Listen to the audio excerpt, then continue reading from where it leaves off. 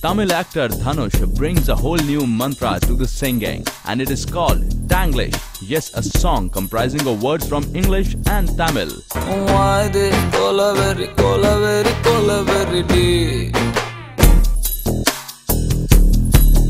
Well, the Kolaveri Kolaveri. The song is actually bathroom crooning of Dhanush, a very famous Tamil actor who is also son in law of the superstar Rajnikant.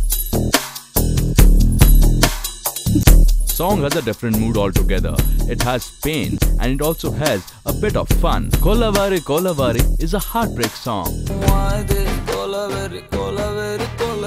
And popularly known as the soup song, the real, painful love song. The one who fails in love sings the soup song, Kolaveri, Kolaveri.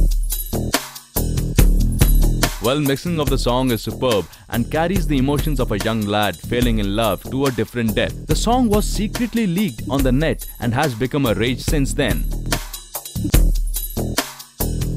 The song belongs to the Tamil movie 3 and it is directed by Rajnikant's daughter Aishwarya Rajnikant, co-starring Shruti Haasan, daughter of legendary Kamal Haasan.